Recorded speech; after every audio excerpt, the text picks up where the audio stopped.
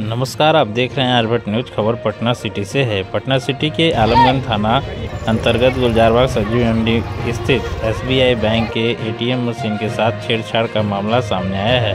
बताया जाता है कि जब लोग एटीएम के पास पैसा निकालने पहुँचे तो उनका पैसा मशीन में फंस जा रहा था। कई लोगों का पैसा फंसने के बाद लोगों की भीड़ इकट्ठा हो गई।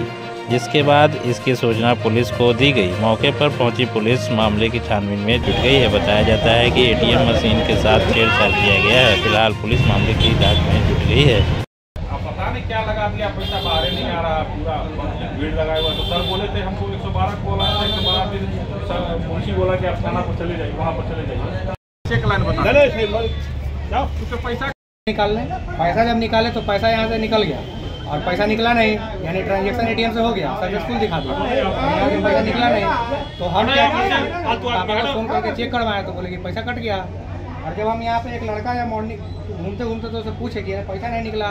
तो बोला भैया भोरे से दो तीन वो कैसे हो रहा है? ये पैसा इसको तोड़ के कुछ लोग निकाला तो हमने तोड़ के कैसे निकाला है? तो वो ऐसे हटाए हैं तो देख रहे हैं कि ये इसमें कवर लगा हुआ है। और ये कवर से ऐसा हुआ कि पैसा इसी से अटक गया। और सुबह से कई लोग का पैसा निकल चुका है। आपका कितना पैसा उठा मेरा दस हज़ार रुपया। अच्छा। कौन सा एटीएम है? एटीएम एसबीआई का है ये। कहाँ पर स्थित है? ये आपका गुलजार सब्ज़ी मंडी में जो रहमत मार्केट है उसी पे हम लोग का लोकल एटीएम पैसा फंसा हुआ। अब ये तो हम बता नहीं सकते सर क्या इससे? पैसा फंसा कुछ लगाया गया हाँ हाँ है? ब्लेड लगा हुआ है। मेरे हिसाब से ब्लेड लगा हुआ अब तो एटीएम वाले जाने की कि पैसा टेक्निकल प्रॉब्लम है कि क्या? गार्ड वगैरह मौजूद नहीं है? नहीं ना तो गार्ड मौजूद है और ना ही बैंक में कोई रिसीविंग निकलता।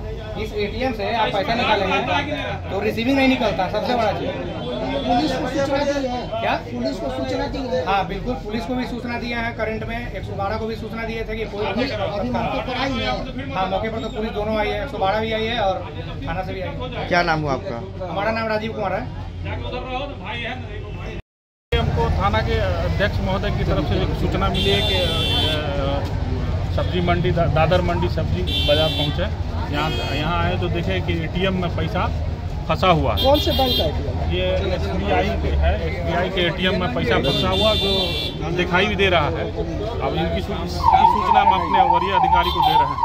और जो विधि सम्मत आने देखने से क्या प्रतीत हो रहा है? कैसे पैसा फंसा हुआ कुछ लगाया गया है इसमें तो टेक्निकल चीज़ है उस पर हम लोग स्पष्ट कैसे बता सकते जैसे स्थानीय लोग का कहना है कि एटीएम से छेड़छाड़ किया गया है ब्लेड लगाया गया है। अब तो ये स्पष्ट बैंक वाले ही बता सकते हैं क्योंकि उन्हीं के अधिकार क्षेत्र का है टेक्निकल चीज़ है वो स्पष्ट बता देंगे। आप अपना परिचय दे दिए सर।